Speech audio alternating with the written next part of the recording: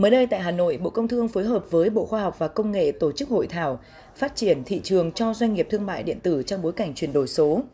Phát biểu tại hội thảo, Thứ trưởng Bộ Công Thương Nguyễn Sinh Nhật Tân nhấn mạnh, trong bối cảnh hội nhập kinh tế quốc tế đang diễn ra mạnh mẽ, đặc biệt việc ứng dụng sâu rộng các thành tựu công nghệ của cuộc cách mạng công nghiệp lần thứ tư tác động rất lớn đến hoạt động sản xuất kinh doanh của các doanh nghiệp. Chuyển đổi số là một vấn đề sống còn trong quá trình phát triển kinh doanh. Chuyển đổi số sẽ giúp các doanh nghiệp Việt Nam đặc biệt là doanh nghiệp vừa và nhỏ, tìm kiếm một mô hình hoạt động kinh doanh linh hoạt hơn, vừa tiết kiệm chi phí, vừa tối ưu được nguồn lực để vượt qua khó khăn. Thứ trưởng Bộ Khoa học và Công nghệ Trần Văn Tùng nhận định, mặc dù thị trường thương mại điện tử đang phát triển khá nhanh và ấn tượng, nhưng vẫn còn nhiều tồn tại hạn chế.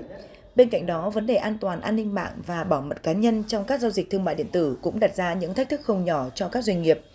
Các đại biểu tham gia hội thảo có chung nhận định thương mại điện tử và đại dịch đã làm thay đổi đáng kể nền thương mại vì sự chuyển đổi từ mua sắm truyền thống sang trực tuyến.